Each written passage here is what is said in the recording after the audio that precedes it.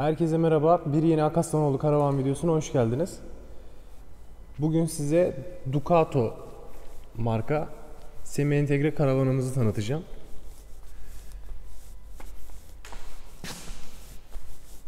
Bir önceki videoda göstermiştim. O zaman yapım aşamasındaydı. Şu an aracımız bitti. Müşterimize teslim edilecek.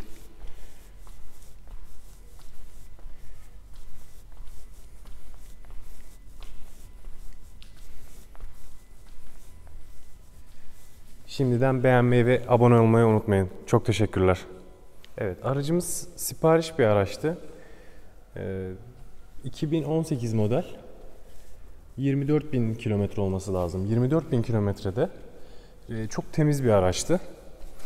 ÖTV'den muaf olacağı için bu arabayı tercih etti müşterimiz.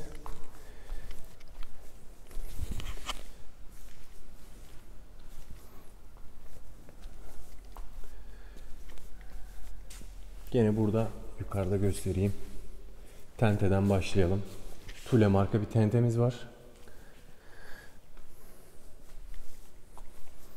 Burada bir su girişimiz var. Berhimi marka bir karavan kapımız var. Tule güvenlik kolu var. Bir önceki videoda bundan bahsetmiştim.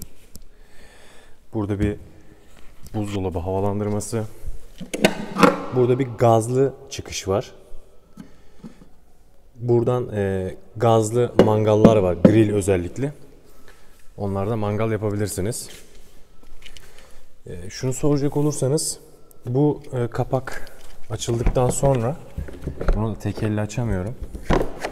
Hı. Şöyle göstereyim. Araya giriyor. Daha önce araçların bagajlarını hiç göstermemiştim size. Bu arada araçta çamaşır makinesi var. Yani son çamaşır makinesi diyebilirim. Bagajımız bu şekilde. Burada burada stepnemiz var. Şöyle göstereyim. Müşterimiz e, aracın içinden e, bagajına bir geçme alanı istedi. Buradan böyle bir çözüm bulduk. Burada LG marka bir çamaşır makinemiz var. Bunu daha önce göstermemiştim bagajları. Merak edenler oluyordu. Burada gene 220 girişimiz mevcut.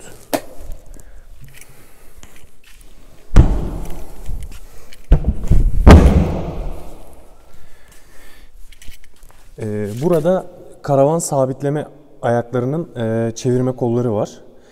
Buradan aracı sabitliyoruz gittiğimiz, konakladığımız yerde. Bunların hidrolik sistemleri var. Çok e, sağlam olmuyor. Daha önce tecrübe edildi. Burada müşterimiz hem motosiklet aparatı hem de bisiklet aparatı istedi. Burada bir adet geri görüş kamerası var. Birazdan onu da gösteririm detaylı. Bu da e, Tule markadır. İki adet bisiklet alır.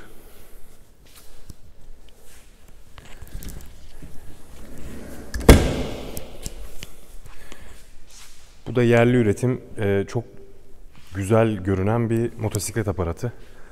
100-120 kiloya kadar e, motosiklet taşıyor. Çok büyük bir motosiklet taşımıyor ama gittiğiniz konakladığınız yerde aracı hareket ettirmek istemeyen müşteriler oluyor.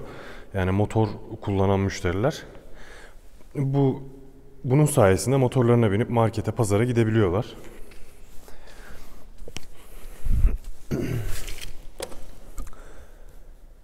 Burada bir dış duşumuz var. Bunun aparatı bagajda duruyor. Göstereyim. Buradan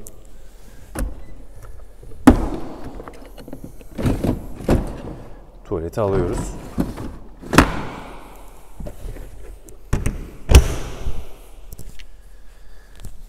Gene aynı şekilde burada da e, gene diğer taraftaki sabitleme ayağı var. Bunlar çevirmeli kolludur.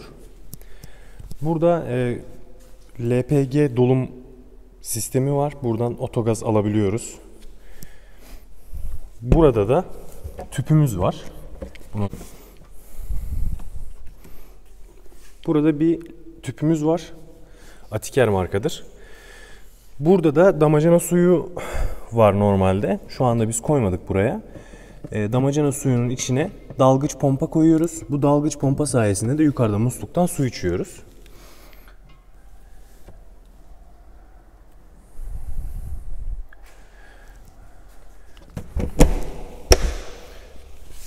Burada bir 220 girişimiz var. Burada Whale su ısıtıcısının e, dışarıya ha- hava vermesi için bir kabin var. Burada da Victron enerji sisteminin e, diğer parçaları mevcut. DC-DC şarjları, e, invertörü, 2 adet 165 amper AGM aküsü. Bunu aracı takıyoruz.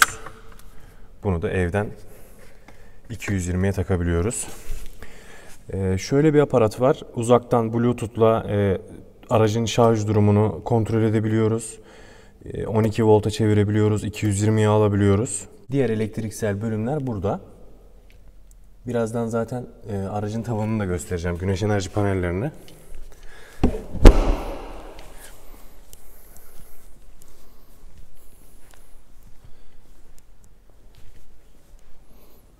Şimdi aracın üst kısmını anlatacağım. Evet, burada bir gökyüzü camımız var. Burada güneş panellerimiz var. Burada bir heki. 3 adet güneş paneli var. 205 watt'tır bunlar. Bunları da soranlar oldu. Neta'nın şöyle yakınlaştıracağım. 4G MiFi. Bu yeni bir üründür. Aracın içinde buna bir hat takıyoruz. Ee, o hattan internete bağlanıyoruz. Hem televizyonda hem aracın multimedyasında hem telefonlarda bunu kullanabiliyoruz. Şurada bir hekimiz 28-28. Gene arka tarafta yatak odasının olduğu havalandırma. Burada içerideki havayı dışarıya, dışarıdaki havayı içeriye alan bir e, vantilatör sistemi gören heki var. Aracın üstü de bu şekildeydi. Altında 250 litre temiz, 250 litre de pis su tankı var. Temiz su tankı e, plastiktir.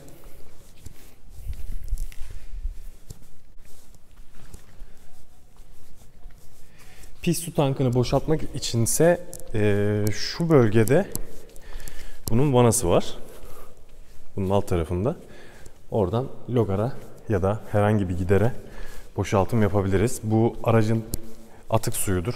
Lavaboda ve tuvalet, e, banyoda kullandığımız atık sudan bahsediyorum. Tuvalette değil.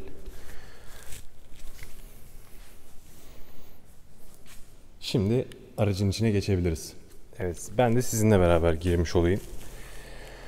Ee, burada iki adet anahtarımız var. Bir tanesi buradaki ışıklandırmayı yakar. Diğeri de bizim basamağımızı indirir. Karavana ön tarafından başlayalım. Hatta gelin aracından başlayalım.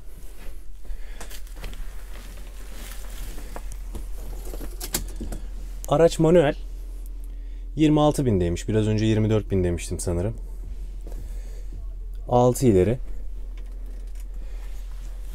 Multimedya sistemi müşterimiz istemediği için biz de geri görüş kamerasına şöyle bir çözüm bulduk. Bunu da şöyle göstereyim. Buraya bir anahtar koyduk. Bu anahtara bastığımız zaman her ne olursa olsun arka taraf açılıyor ve arka tarafı seyredebiliyoruz. Bu geri vitese takmamıza gerek kalmadan arabayı yolculuk esnasında da arabanın arka tarafını kontrol etmemizi sağlıyor.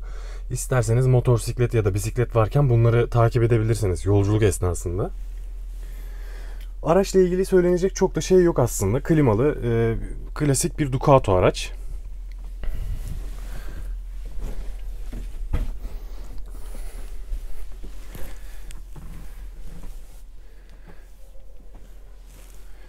Ön panelimizi göstereyim. Döşemedeki ince detayları şöyle belirteyim. Burada iki adet askılık karşılıyor bizi. Buradan şoför bindiği zaman direkt buraya montunu asıp seyir halinde devam edebilir. Burada iki adet 220 ile çalışan spotumuz var. Bunlar kapanabiliyor. istediğiniz gibi hareket edebiliyor. Dolapları göstereceğim. Şu ışığı da kapatalım.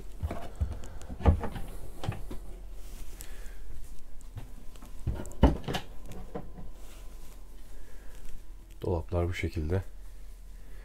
Şurada da bir kullanma dolabımız var. Gene burada teleskopik bir masamız var. Burası da aynı zamanda yatak oluyor. Biraz önce bagajı gösterdiğimde orada aparatları görünüyordu. Berhimi marka cam kullandık bu araçta. Gene sineklik ve güneşlikli.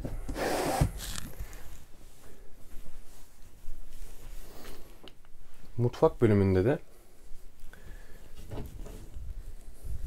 Tedford'un triplex fırını, onun altında bulaşık makinesi, burada Domatik marka bir evye, bu biraz önce bahsettiğim kullanma suyunu, içme suyunu buradan alıyoruz. Şu anda e, aşağıda damacan olmadığı için çalışmıyor. Burada bir baharatlığımız. Burada mutfak eşyalarını koyabileceğimiz diğer alanlar. Buradan banyoya geçelim.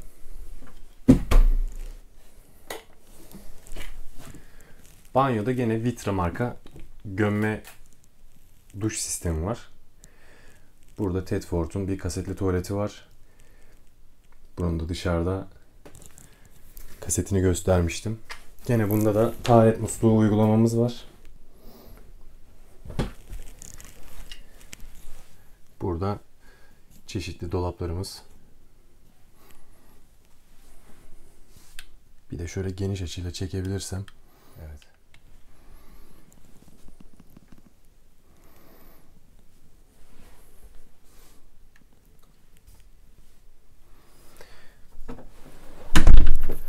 Burada bizi bir yatak karşılıyor.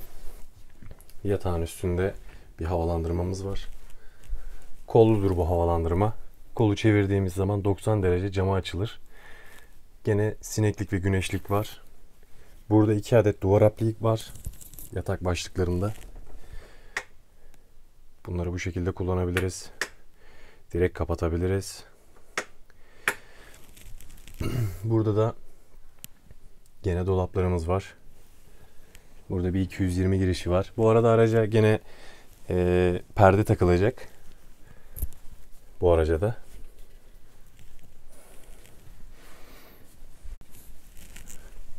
Buradan da aracın bagajına ulaşım sağlayabiliyoruz. Bir insan geçmez ama bu şekilde olmasını istedi müşterimiz.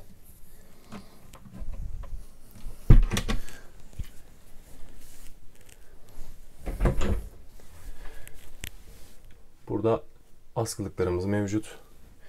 Gene dolap derinliğini şöyle kolum ile göstereyim.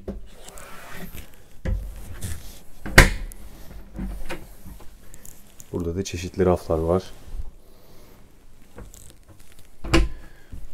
Burada Indelvi'nin tek kapaklı bir buzdolabı mevcut. Buzdolabı çalışıyor şu anda.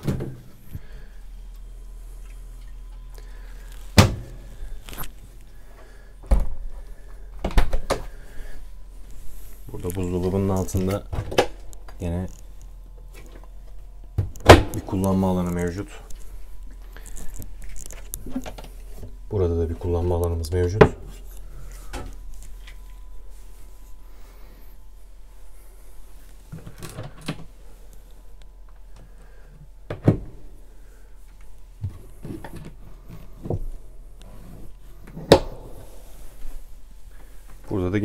14 inç bir televizyonumuz var.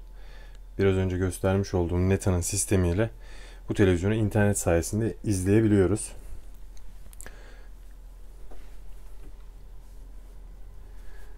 Burada da gene bizim her araçta kullandığımız CBE marka kontrol paneli var.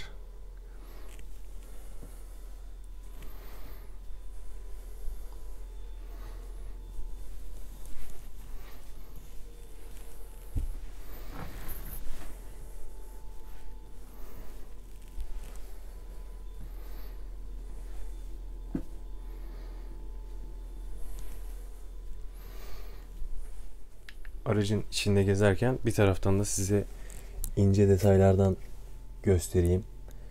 Ee, bizim döşemecimiz, mobilyacımız çok harika işçilikler çıkarttığını düşünüyorum. Ve araçta çok ciddi bir emek olduğunu düşünüyorum.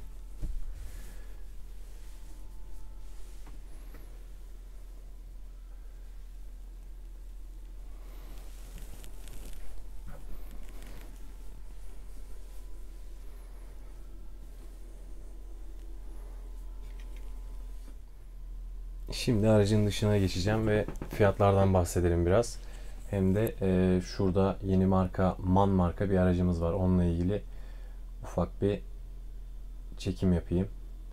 Bir sonraki videonun içeriği belli olsun. Şimdi biraz fiyatından bahsedelim. E, karavana dönüştürme ücretimiz güncel. E, burada birkaç sadece bu araçta birkaç donanım eksik. Yani bu araçta hem bisiklet aparatı var, hem motosiklet aparatı var, hem arkada bulaşık makinesi var. Şey, e, pardon, çamaşır makinesi var. Çamaşır makinesinin üretimi yok artık. Bunları e, ekstra opsiyon olarak bu araba arabaya ekledik. 75 bin euro gibi bir rakam tutuyor. E, bu donanım ile. Bizim de daha önceki videolarımızı da izlediyseniz zaten e, aşağı yukarı donanımlarımız aynıdır. Ee, Yani çok böyle aman aman bariz farklar yoktur içlerinde. Hatta bir önceki arabaya ne koyduysak bir sonraki arabaya bir fazlasını koymakta hiç çekinmiyoruz.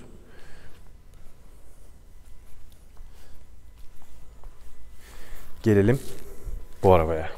Bir sonraki araba bu olacak. Yani videomuz. Bu araba olağanüstü bir araba. Türkiye'de tek bir önceki Man Karavan'dan biraz daha dolu. Şöyle içini göstereyim. Şu an yapım aşamasında. Çok hızlı geçeceğim. Bunun zaten e, tasarımı da farklı, dizaynı da farklı. Tuvalet banyo burada olacak. Burada dolap, arka taraf yatak gibi. Ama tabii ben arabadan bahsetmek istiyorum. Araç otomatik 4x4.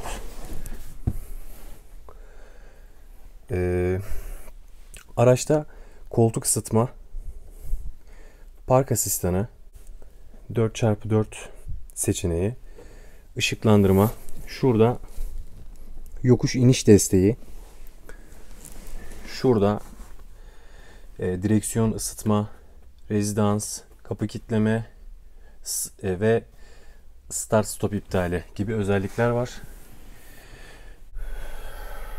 Zaten müşterisi de sipariş ederek getirdi.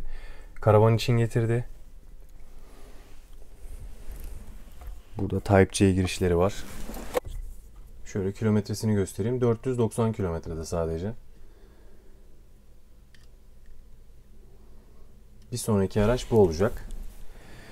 Ee, Yani bu arabanın içi de çok güzel olacak.